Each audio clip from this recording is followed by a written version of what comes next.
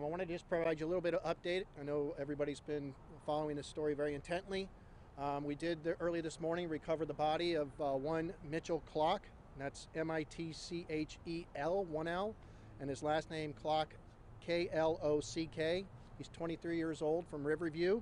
He is uh, was married earlier this year, and uh, he basically uh, has his own welding service, M Klock Welding Service, that he started just a couple years ago. Good, hard-working person who was uh, doing a dangerous job, and we definitely our thoughts and prayers go out to his family.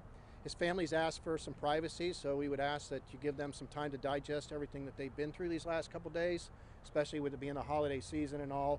Um, and they, um, you know, he's a hard-working guy, just trying to care for his family, and uh, this is going to obviously strain them emotionally and maybe even financially. So please, uh, we'd ask everybody just be respectful and, and keep the, the family in their thoughts and prayers. Um, our primary role as a police department up to this date was to provide scene security to make sure that we preserved any evidence that needed to be recovered uh, and support the, the needed uh, equipment that needed to get in here to help the fire department's operation as they conducted the, the, um, the recovery operation. Um, the, um, the detectives have already done a few interviews, but we have a lot more work to do. This case will be very intent on kind of looking at uh, the documentation that's available, what kind of information was learned about this structure up to the, the point of the, uh, the, the, the, tragedy, and then going from there to kind of uh, evaluate uh, you know, how the whole thing was processed. So, you know, we've heard a lot of questions like, you know, how is this going to change what you do at the City of Clearwater? We're going to we're going to holistically look at everything, but we are certainly in the early stages of gathering a lot of that data to be able to um, really do a, a good evaluation. Uh, certainly our detectives who are skilled at doing death investigations and doing uh, you know criminal matters uh, are involved in this particular uh, incident as part of our obligation to, to investigate all death investigations. Uh, we are not at the point where we say this is a criminal investigation. I want to make sure that was very clear. Uh, we are at a point now where we are collecting information related to the death of Mitchell and trying to make sure that there, if there is any culpability and that evidence is presented to us uh, during our investigation, that we will then, of course, handle it appropriately and uh, follow through with any type of system of accountability that needs to occur. Uh, but we are far away from being able to do that. We are um, working with a, uh, a, a, vendor, a contractor, uh, Thornton uh, Tomasetti, who has actually already assisted in the, the search and rescue aspect or the search aspect of this particular case and looking for them to continue on with us to provide our detectives some impartial uh, information with regard to you know structural engineering, construction, uh, repair processes, and, and, kind of really get a good, uh, solid foundation on what that uh, what that is. Um, Rob Shaw is going to give you a document as we uh, once we complete this, which is kind of an overview of what our uh, City of Clearwater in planning and, and development department has already done with regard, or what they had done kind of up to this date.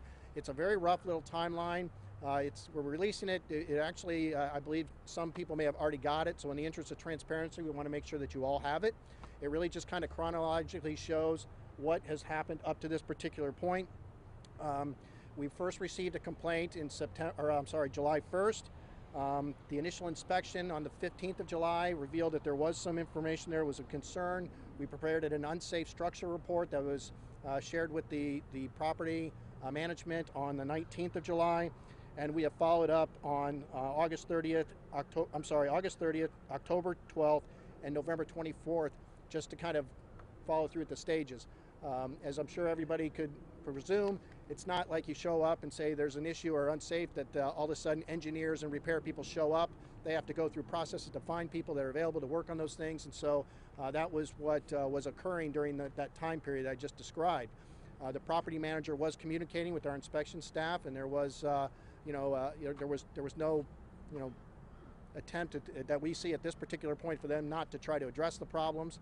Uh, so we are definitely going to kind of just continue to evaluate that. But at this point, it doesn't seem like you know they were just ignoring our our, our conversations. It was moving relatively well. Um, there's very little information I can provide. This is going to be a, a very complicated case that'll take a lot of time to, to gather all the documentation. Uh, as I said, we've done a few interviews for. There's certainly other people that may have had knowledge in, of the building uh, that uh, and of any other complaints or of any other processes that were being done uh, whether it's for you know to to you know attain insurance or anything during the, the, property ownership that we would just want to talk to and kind of work through those processes. So that's going to take us some time. I don't anticipate there'll be too many more updates after today unless something you know new is revealed through that investigation. Uh, but um, I did want to at least make ourselves available. Uh, certainly, uh, you know, Chief Ch- Kleinfelter is here as well. He has been kind of the face during this uh, initial stage of the Clear, Clearwater operation. Uh, now we're trying to transition to the police department being the primary role as we do our our uh, our, our function of our, our you know investigation. Um, be more than happy to try to answer any questions, and uh, we'll maybe go left or right. Chief, um, uh, according to the timeline, it, it appears that the work was being performed without a permit being issued. Uh, can you talk about that? And, and was there a requirement uh, for a structural engineer to, to examine the Yes, you, you'll see that it, it indicates in the document I'm going to give you that our recommendation or our, uh, the direction was for an engineer to be involved before the work was started. Uh, so that is something that we'll be looking into. I certainly want to make it very clear that I don't think that Mr. Mitchell Klock deserves to be, you know, looked at in a negative light because of that. Because we're talking about a hardworking man that's just trying to put food on the table, a true American. And so I really would like to just uh, uh, kind of, I think your point's well taken, but I don't have anything more than what you just said, and we'll be looking at how that happened and what uh, what transpired to get there. Ma'am? Was Mitchell Klock working in the capacity of his own business, and can you repeat the name of that business? And also, what about complaints that were put in on this structure in 2008? With regard to the first one, the name of the business is A, I'm sorry, M, his initial, Klock, K L O C K, Welding Services, an LLC that was opened in 2019. I don't know with what capacity, if he, who contracted for his services at this particular time. That is definitely one of the things that we are going to look into do.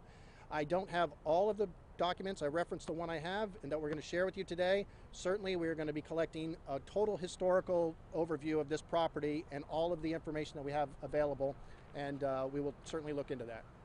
Chief, I'm, I'm going to try to go left to right, even though I've been unsuccessful. Do you know why this building was looked at in July to begin with? Were they getting complaints then? Do you know why? It's all preliminary. I really can't say with with a 100% degree of certainty, but I do believe the property may have changed hands at some point through a purchase, and then some of these issues may have come up during the uh, transition of some insurance. But we're still looking into that. Chief, when your investigators and inspectors, building inspectors came out to look at the garage, they said it wasn't unsafe. Was it unsafe at imminent danger? Was there an imminent danger that your inspectors determined? Yeah, yeah, certainly the city of Clearwater inspectors, they made an unsafe report, but that doesn't necessarily mean that you're going to shut down the entire structure. And so that's some of the things we need to get into the weeds and determine what level of, uh, of, of, of uh, safety was kind of implied by the report. So obviously this isn't an, a building that's occupied with people all the day and the people that we're dealing with that were, were actually workers trying to do repairs. So we're, we're certainly, um, we're going to evaluate exactly that. Do you have detectives that are up to speed on construction techniques, are they going to learn as they go along and, or learn from the uh, uh, structural engineer? We're, we're going to lean on some um, some you know expertise from some some private services that'll be kind of independent in the process, and um, certainly the detectives will be more uh, more versed in this uh, by the end of next year than they are today, no doubt.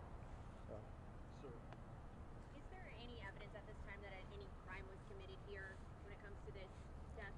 At this time, I don't think I can comfortably say there's a crime being committed. I think at, at, at this point, um, when a death is, death is involved, you go through this systematic process of the investigation in case it gets to that. So as we start to review the documents, if there is information that's you know that that's reveals that there is a potential charge, like say a culpable negligence or a manslaughter charge, we want to basically lay the foundation to make sure we collect that stuff in the proper way. So that's what we're doing now. We are not nearly to the point of having evidence where I would say I have any uh, corpus delicti of a crime at this point. Have you had any communication with the owner of the building? Are they cooperating throughout this process? We, we have had some communication with the property manager, and I think there's been some with the property owner, but not, not they, they're not being uncooperative. We just haven't gotten to the point where we've sat down and done any of those kind of conversations yet. Chief Kleinfelder, can you talk about your operations oh, overnight? wait, and- wait, before you, before, Oh, sorry. Sorry. Chief, um, what, what about the status of the building now? Um, is it is it going to have to be demolished because of the safety concerns? Uh, will it be occupied again? And, and what happens about the surrounding buildings? Sure. Where do people park? Well, certainly uh, they'll have to make other arrangements for parking. The building at this point has been deemed uninhabitable, so we will not let people back in the building. We are working with the property manager now. They are supposed they're making arrangements to have a security fence, and they have made arrangements for staff to make sure that nobody you know gets into the building.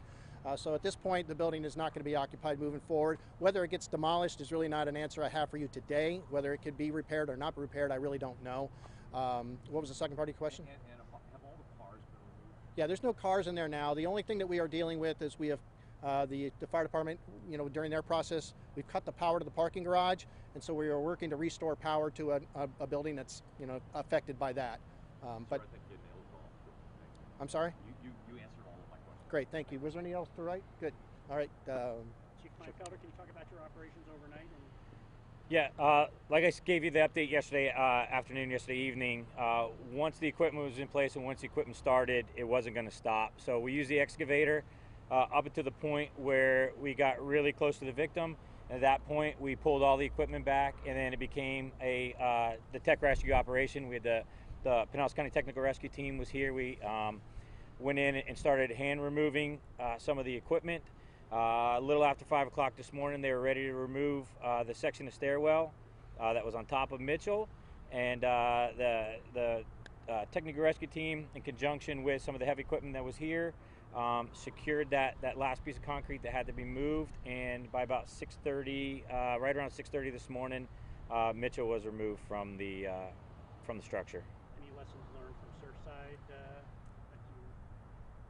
We- you know, worked with us? We did have uh, experts from the USAR team that are, that are part of the Pinellas County Technical Rescue Team out of St. Petersburg who were down uh, at Surfside. So some of the techniques that were used down there and, and that structure collapse, uh, we, we definitely uh, leaned on their expertise um, throughout this operation. And did, and did the stairwell pancake come right down? Uh, that's what it looks like at this time. Again, it's all still under investigation, and that's going to be kind of part of that uh, final report that comes out. Do you know exactly what Mitchell was doing? Uh, what was the nature of the work he was performing when this happened? The only thing we do know is that he was here doing some sort of stairwell repair, but we're not. I don't have all the details right now on that. For us, from the fire department standpoint, we were strictly focused on, uh, you know, early on rescue, and then when it became a recovery mission, to make sure that that we uh, fulfilled that mission as, as safely as possible. Anything else? Thank you. Right. Thank you all for coming out. Thank you. Rob, you need it? We'll get you that piece of paper. Thank you, Chief. Thank you, Chiefs.